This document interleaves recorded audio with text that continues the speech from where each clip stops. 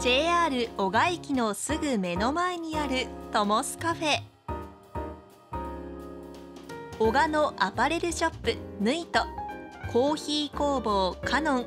グルメショップ福島の3人の若手経営者がワクワクを灯すカフェにという願いを込めて去年5月にオープンしました。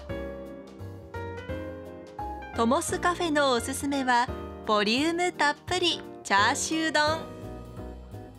火加減と加熱時間にこだわり柔らかく仕上げた県産の豚肩ロースを贅沢にのせた一品です。地元の農家から仕入れた新鮮な有機野菜と絶妙な半熟卵のアクセントが食欲をそそります。味噌をはじめ調味料はほとんど県産を使うこだわりぶり。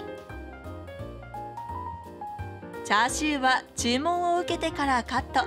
食材はもちろん量やバランスは食べる人の美味しい笑顔を考えて作られています。トモスカフェおすすめのランチメニュー2品目。写真映えも抜群。カラフルで楽しいチキン南蛮プレート。甘辛いタレがかかった揚げたてのチキンは鶏の胸肉でヘルシーに。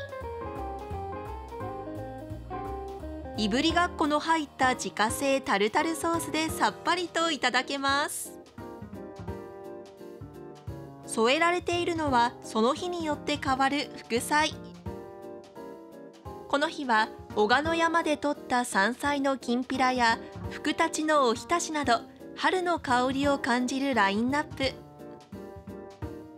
食後はぜひハンドドリップで丁寧に入れるカノンのオリジナルコーヒーを堪能してみては？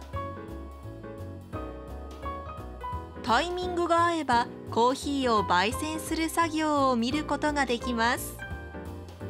コーヒー豆の香ばしい香りが店内に広がりまさに至福のひととき。ゆったりと時間が流れるトモスカフェでした。